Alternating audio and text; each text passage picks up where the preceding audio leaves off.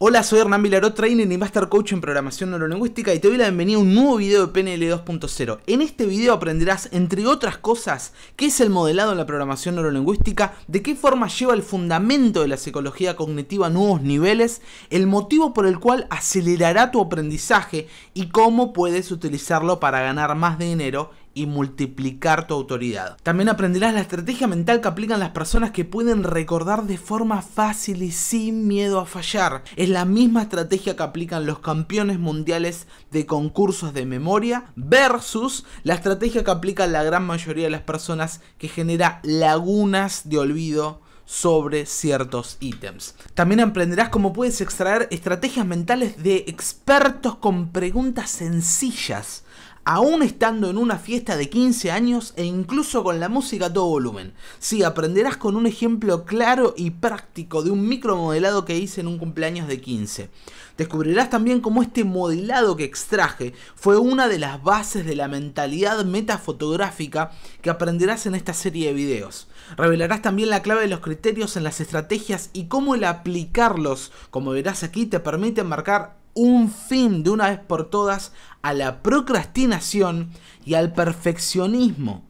Si eres una persona que está constantemente posponiendo el comenzar esa acción que te va a brindar beneficios o si no sabes cuándo terminar para lanzarla de una vez porque constantemente te encuentras a ti mismo diciendo no, todavía le falta un poco más, no, todavía le falta un poco más, esto es algo que te va a interesar porque te va a estar ayudando enormemente. También aprenderás nuevos metaprogramas, marcos con los cuales procesamos información y tomamos decisiones que no encontrarás en los libros de programación neurolingüística, junto con su aplicación práctica al modelado, para que veas cómo estos marcos, estos metaprogramas, cambian la percepción y te permiten procesar la información de una forma completamente diferente. Y también aprenderás el paso olvidado en los libros de programación neurolingüística que hace explotar tu motivación, te permite poner en práctica de forma ultra veloz la estrategia del experto, lo cual es absolutamente crucial en el modelado, ya que no solamente se trata de hacer una descripción de lo que la persona está haciendo, sino de pasarlo por sobre todo por el cuerpo, instalar la nueva estrategia modelada.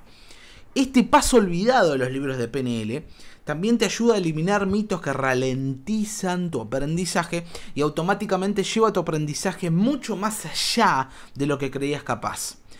Como frutilla del postre verás cómo vencer el bloqueo a la hoja en blanco a la hora de escribir y mucho, mucho más. Comencemos. La programación neurolingüística, al tener las bases en la psicología cognitiva, comparte el principio de que nuestras acciones, nuestra conducta, viene de nuestra forma de sentir y nuestra forma de sentir viene de nuestra forma de pensar.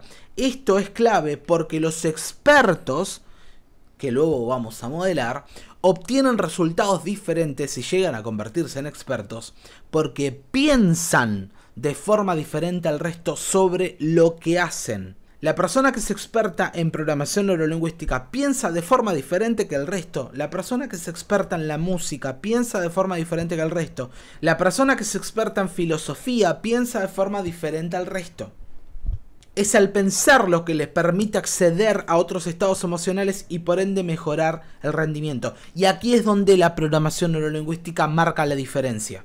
¿Por qué? Porque dice lo siguiente, si es el pensar lo que marca la diferencia, entonces no solo apliquemos este modelo a la hora de hacer terapia, sino enfoquémonos en qué hacen, en cómo hacen y de qué forma piensan los expertos para resaltar, para diferenciarse del resto de las personas. ¿Para qué? Para que cualquier otra persona pueda replicar sus resultados o cuando menos pueda acelerar su aprendizaje en esa área. En particular, cuando hablamos de modelado, la programación neurolingüística estudia qué y cómo esos expertos utilizan el lenguaje, qué palabras dicen, cómo las dicen y cuándo. Su lenguaje no verbal también lo estudian, su postura corporal, su respiración, sus accesos oculares, las metáforas que utilizan para explicar cómo piensan sobre eso, sus programas mentales o estrategias, la secuencia mediante la cual piensan y sus metaprogramas,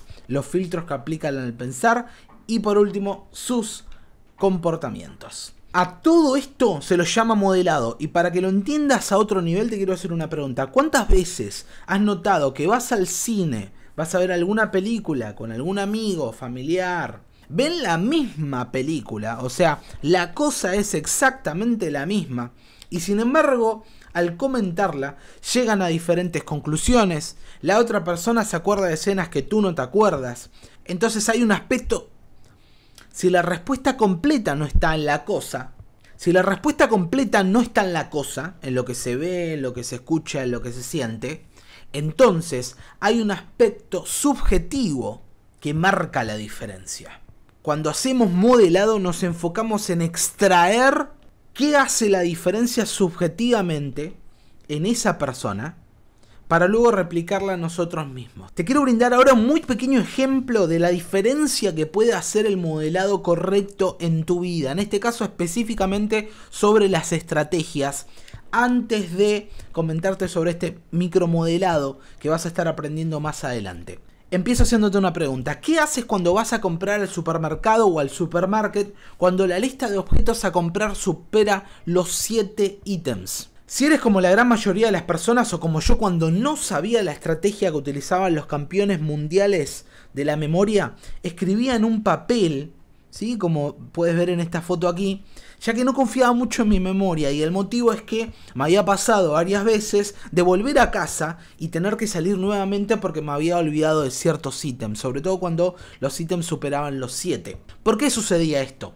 Porque soy una persona tonta, porque soy una persona que no puede recordar más de 7 ítems. No, simplemente ocurría porque estaba aplicando la estrategia equivocada.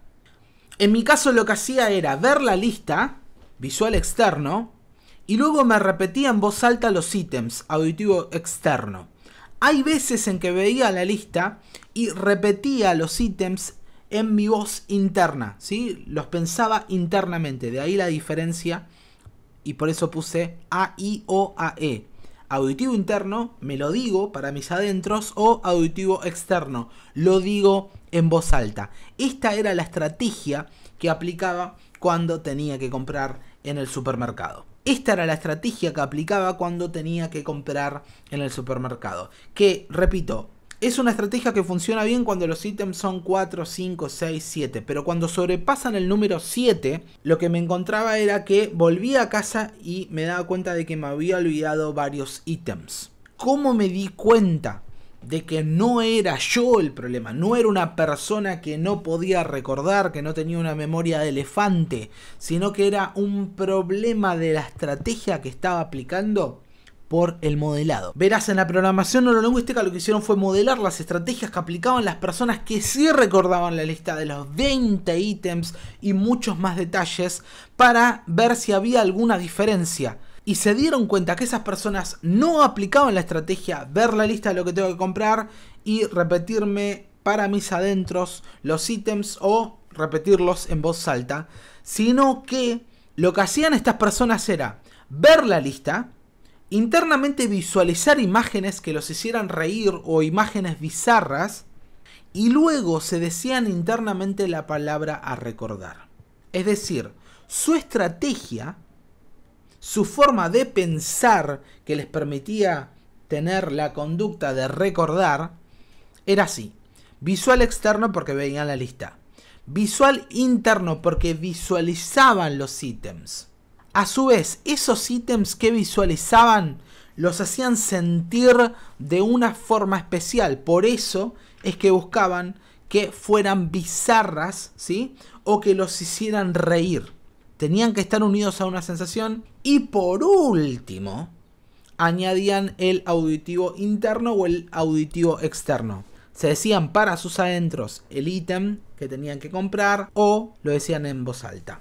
Ejemplo de esta estrategia veo la lista de lo que tengo que comprar. Entonces veo la primer, el primer ítem que es un tomate. Entonces visualizo un tomate que, que comienza a bailar. ¿Sí? Visualizo un tomate que comienza a bailar. ¿Por qué bailar? Porque es una sensación interna. Y ni bien lo veo al tomate y lo siento, me digo la palabra tomate. Luego visualizo que el tomate se rompe, por ejemplo. ¿Por qué se rompe? Porque es una sensación. Y luego del tomate sale una lechuga, por ejemplo. Y ahí es cuando me digo lechuga. Y así sucesivamente. Creo una historia que sigue esta estrategia. ¿Entiendes la diferencia entre una estrategia y la otra? ¿Puedes ver la importancia que tiene el aprender a modelar? Compáralas tú mismo. Visual externo, auditivo interno o auditivo externo versus visual externo, visual interno, kinestésico interno y auditivo interno. ¿Entiendes a otro nivel ahora por qué los expertos piensan de forma diferente? ¿Y la importancia que tiene el modelado para extraer estas estrategias? Puedes ver cómo el modelado es el encargado de rebanar meses y no años de cualquier aprendizaje en el que quieras destacarte.